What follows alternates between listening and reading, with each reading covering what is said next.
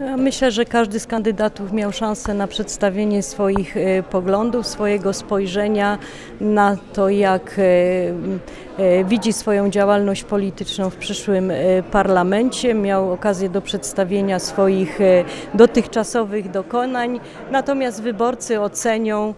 Ja chciałam zachęcić wszystkich do pójścia e, do e, zagłosowania 9 e, października. Oddajcie swój głos, wybierzcie swojego kandydata, to ważne dla Polski. Bardzo sobie cenię spotkania, e, spotkania z młodzieżą, spotkania z wyborcami, e, spotkania, które są inicjowane przede wszystkim e, oddolne, czyli przez młodych ludzi, przez, in, przez fanów internetu i dla internautów też powiedziałabym w ten sposób. Jest to bardzo duża grupa i ja powiem szczerze, że nie jestem zbyt sprawna jeszcze technicznie we wszystkich nowinkach, ale się bardzo staram. Bardzo mi miło w ogóle, e, lubię spotykać się z ludźmi, lubię rozmawiać z ludźmi e, i uważam, że w ogóle warto rozmawiać, bo bez rozmów do niczego nie dojdziemy.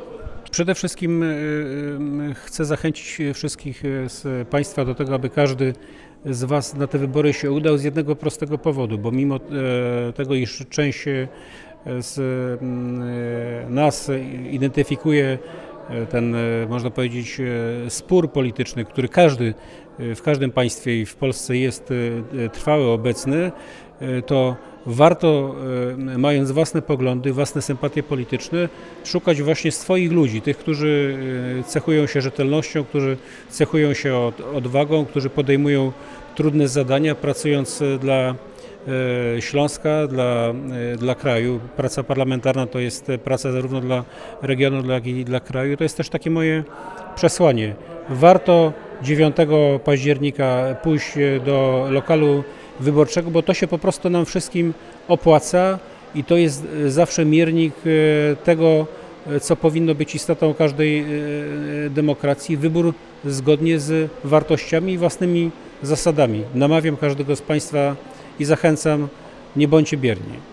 Muszę powiedzieć, że jestem bardzo zadowolony z tej debaty. Oczywiście mm, nie zawsze wychodzi wszystko tak, jak się zaplanowało.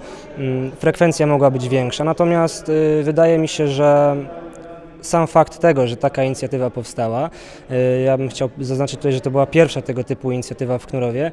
Wcześniej tego typu debaty się nie odbywały.